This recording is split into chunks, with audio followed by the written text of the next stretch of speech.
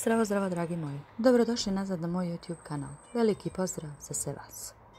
Najava serije Manit Fatalna ljubav 261. epizoda. Jaman govori, čovjek je došao na vrata usred noći. Ko je to bio? Veoma je lijepo ispalo. Prokletstvo. Džanan govori, oh, moj sin se osjeća uznemireno. Jaman govori, kakav god da je tvoj problem, ja ću ga riješiti. Džanan govori, život mi je uništen zbog zlokobnog čovjeka koji mi je u noću došao pred kuću. Uništili su moju porodicu.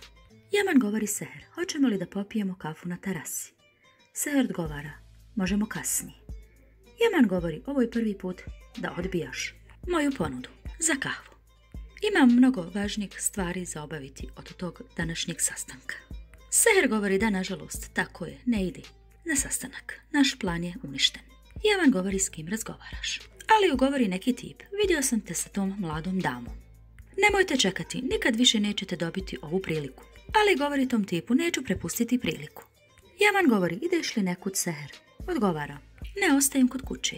Odakle ti ta ideja? Jaman govori, stavila si Karmine na usne. Seher govori, oh Karmin. Jaman govori, koga kriješ? Tebi je mrgude najljepši na svijetu, tebe krije. Veliki pozdrav.